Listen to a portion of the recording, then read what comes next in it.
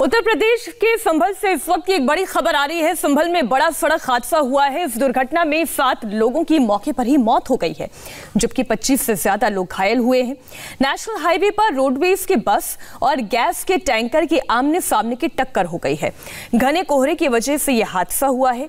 इस हादसे पर मुख्यमंत्री योगी आदित्यनाथ ने दुख जताया है और अधिकारियों को राहत कार्य पहुँचाने के निर्देश दिए गए हैं। ये दुर्घटना संभल के धनारी थाना इलाके के मुरादाबाद आगरा हाईवे पर हुई है। जिला प्रशासन का राहत कार्य अभी भी जारी है।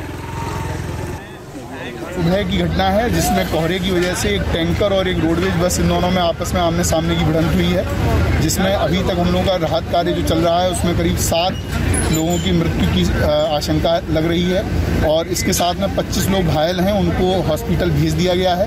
राहत कार्य लगातार चल रहा है, क्योंकि ये गैस का टैंकर है, इसलिए आसपास से भीड़ को हटाया गया है। और इसमें मैं और डीएम साहब हम लोग मौके पर हैं। और इसके साथ में ये अभी कुछ लोग हैं जो इसके अंदर फंसे हुए हैं, उनको निकाले जाने का कार्य चल रहा है।